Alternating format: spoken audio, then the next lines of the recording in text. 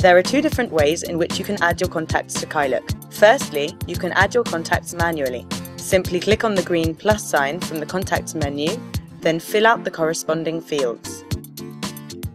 To add further information, just click on the green plus sign located to the right of each category. By clicking on Home, you can alter the description of the details you enter for each contact within each category. You can also add multiple details within each category. Just click on the green plus sign. If you want to delete a piece of information, just click on the red minus sign. You can also alter the profile picture of your contacts. Simply click on the camera icon and select a picture. Click Save and your contacts will be added to your address book. You can also add your contacts to Kylook by importing them. Click on the button Import Contacts and select a CSV file to import. These can be Kylook, Google, Outlook, or Apple Address Book files. Once you have the file selected, click on Import.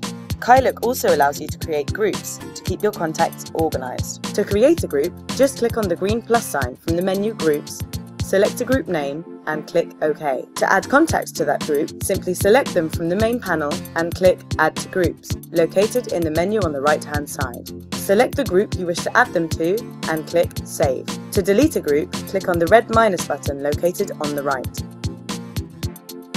Kylook, your online address book. Simplify your life.